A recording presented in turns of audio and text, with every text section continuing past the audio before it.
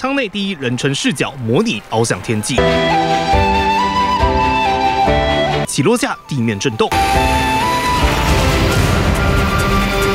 水平尾尽力撞击发动机，从去年九月耗时九个月时间，永鹰高效机经过全机身无死角测试，终于在六月二十号这天翱翔天际。国防部也在首飞之天公布测试缩时影片，感谢掌声背后这些默默的无名英雄。后座的教官直接看这个 repeater，直接在后座就可以操作落地。试飞官拍胸脯保证，强调永鹰属于全新机种，与 IDF 绝对截然不同。而距离上次。国机国造首飞，IDF 金国号首航是在一九八九年五月二十八号，而永鹰则是在二零二零年六月二十二号，回为三十一年再度缔造历史，也将改变未来。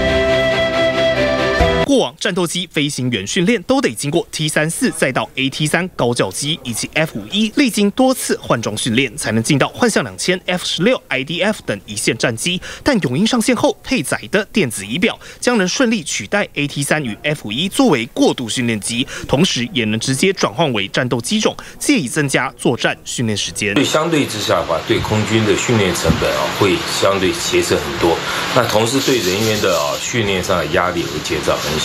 至于新飞机的，就是新型的面板来说话，它也可以衔接到后续的训练动作。见证国机国造里程碑，永鹰也开启中华民国跨入航太产业的大门，扮演承先启后的角色，距离国产下一代战机往前迈进一步。谢董俊、张宇轩台报道。